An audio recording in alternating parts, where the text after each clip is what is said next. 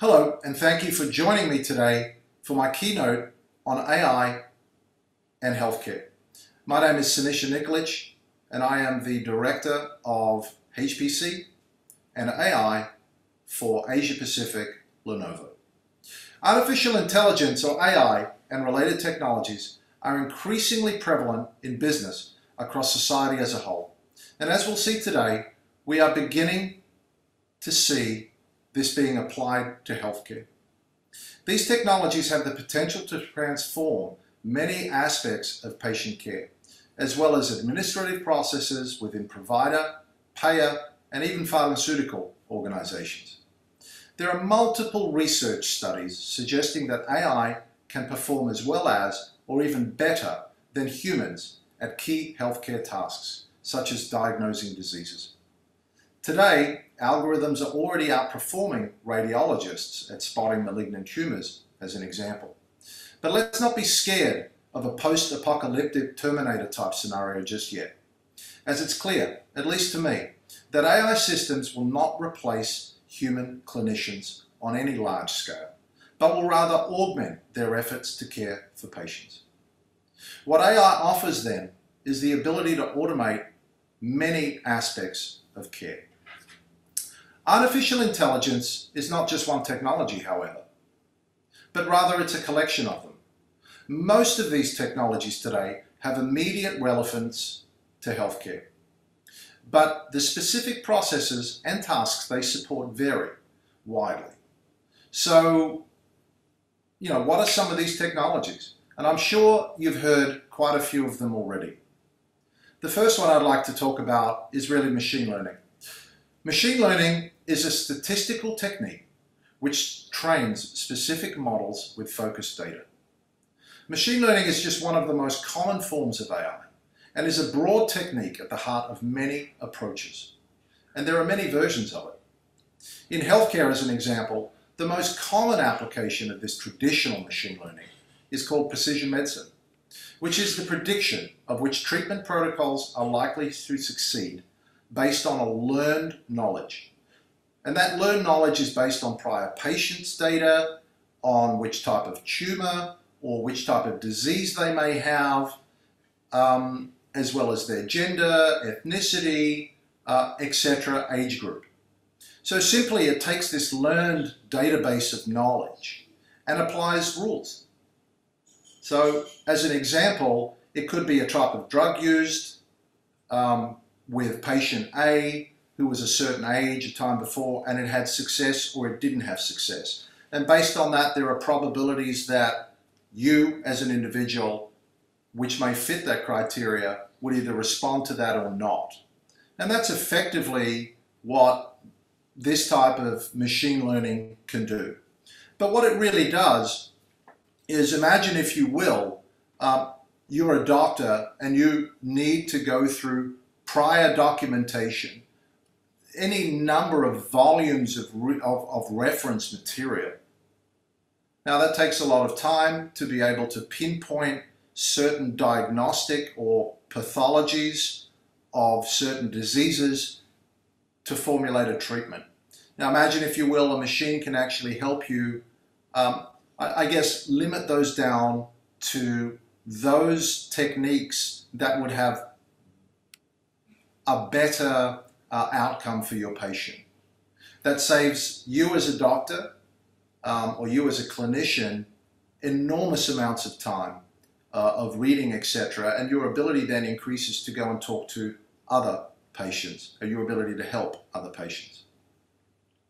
So that being said, an even more complex form of machine learning involves deep learning, or DL. No, machine learning ML, deep learning DL.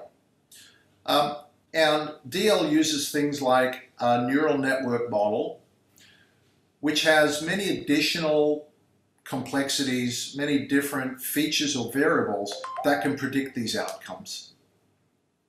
There may be thousands of hidden features in these models, which only today can be exploited or even uncovered because we can use these ultra-fast GPU processors, thereby lowering the cost of compute and increasing speed. a very common application of deep learning in healthcare um, really involves visual recognition of potential cancers from imagery. So things like uh, things from MRIs, CAT scans, etc. This vision-based deep learning is most commonly found in oncology, um, image analysis, and promises a, a great deal of increased accuracy for the clinician. You know, in fact, in 2017, Lenovo Research won a grand challenge competition focused on the development of an automatic segmentation algorithm for liver lesions. So it looked for um, it looked for cross sections through a liver and looking for tumors. So it did this how? It did tumor detection and classification. So using deep learning and some very specific algorithms developed by Lenovo Research, eHealth as it was called, analyzed these CT images of patients to detect these tumors. If the tumors actually existed, it was able to provide lots of information on them, such as their size, location, and potentially the type of tumor it was, was which could assist doctors in the diagnosis. It would annotate these images. So eHealth would actually integrate the, the, the basic information that it had of those CT images and the patients and annotate the location, uh, the status of the tumor, its growth rates, etc., which made it much easier for doctors to read those CT images. And it would also produce these 3D model displays. And it, was in, and it would integrate all of that information with these 3D models. And it would display this 3D tumor model. Um, and it would make it rather more simplified, at least, for doctors and patients to communicate with each other about the diagnosis, the treatment course, uh, and, and how that tumor was progressing as you actually went in for additional CAT scans and MRIs throughout the process. So incredible stuff that we've been involved with personally. And I'm aware of a number of startups who focus specifically on the diagnosis and treatment recommendations for certain cancers based on their genetic profiles. Since many cancers have a genetic basis, human clinicians have found it increasingly complex to understand all the variants of cancer and their response to drugs now and future and the protocols to, um, to, to treat them. And AI is absolutely needed to wade through these rivers of data, these rivers of gene- you know, genomic information of the cancers themselves. In fact, as I man- mentioned previously, this data is so critical for deep learning that it's required to make those predictions and make those treatment courses. Lives are at risk, so speed, efficiency, and accuracy becomes paramount to how you attack that data and derive information from data. Technology firms such as Lenovo are working really close with research institutions, hospitals, healthcare startups across both hardware and software technologies. We're working tirelessly across the IT spectrum to both increase time to diagnosis, or decrease time to diagnosis, I should say, as well as lower costs to address these types of challenges. Let me give you another example. Lenovo and Intel have developed a technology suite for the processing of genomics data called GOAST. And I mentioned genomics data just previously as it related to cancer, uh, the, the cancer genome. When the first human genome was sequenced in 2007, it cost over a million dollars. And since then, the price has plummeted to below $1,000 per sequence. The main driver for this data production is really caused by the higher throughput of these new sequences, these instruments. We have now, you know, we are now sequencing um, six terabytes of data within roughly 24 hours. And that equates to about 30, or sorry, 60 human genomes, not 30. 30 times 2, you'll get 60. So 60 human genomes across one run, generating a whole lot of data and a huge amount of storage to go through. And this is where GOAST came from. The technologies available prior to GOAST allowed those systems to take 40 to 150 hours for a single sample. And that's one person would take 40 to 150 hours, depending upon how you actually process that data. This is just not scalable. It's not efficient. You can't actually deal with multiple patients across the, you know, across the city, across the world if you're a clinician. You just can't deal with it. But GOAST is allowed, with Intel's help uh, and Lenovo research, to be able to put together an optimized hardware and software platform that took that 40 to 150 hours down to less than an hour. How much more work can you get done with a patient when you have that many hours left in a day that you haven't spent waiting for data? That's a key benefit of these types of technologies today and the net impact into healthcare. But you know what? That's from a clinical standpoint. AI is used all over um, hospitals, all over healthcare today.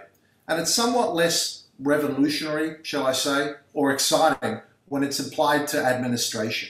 But it's hugely important as it can provide substantial efficiencies across administrative functions. Imagine, if you will, your ability to automate processes such as patient, uh, patient input or uh, patient administration, etc.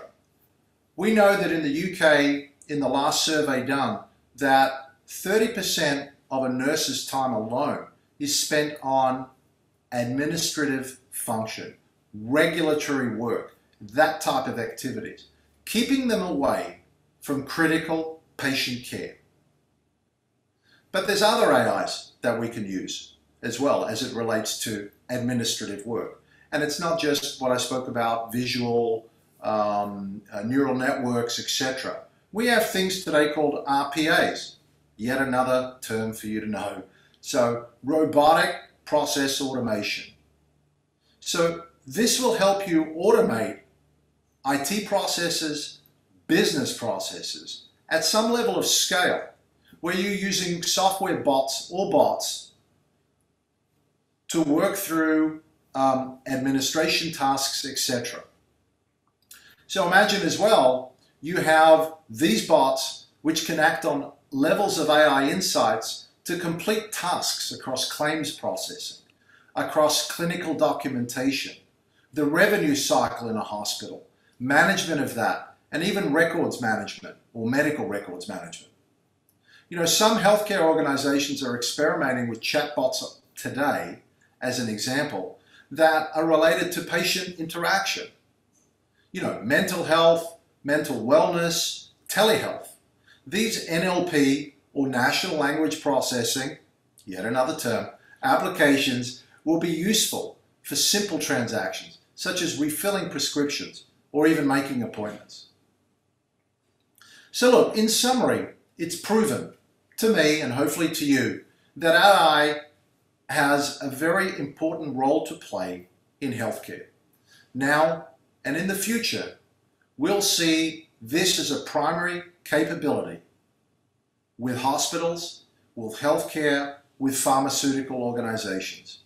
So right now, we know that this visual work you know, there, there may be blips in the system where it doesn't get it always accurate, and this is why human beings involved. But we know that AI will eventually prevail. The more data you give to an AI system to learn, the better it becomes. And given the rapid advances in AI for imaging analysis, it seems incredibly likely to me that most radiology and pathology images will be examined by a machine at some point in the future.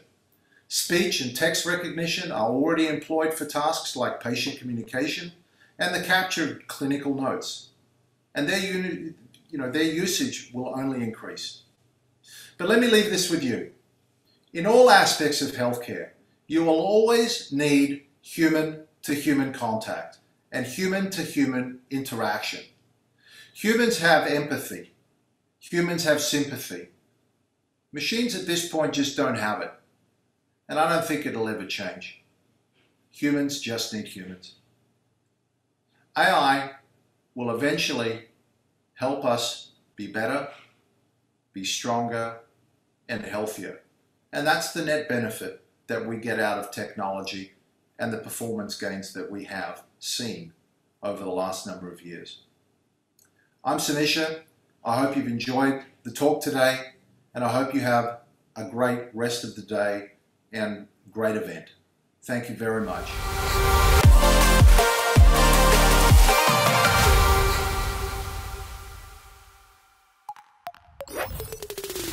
Meet the critical unknowns, the unseen IT experts helping doctors detect disease with our AI and high performance computing.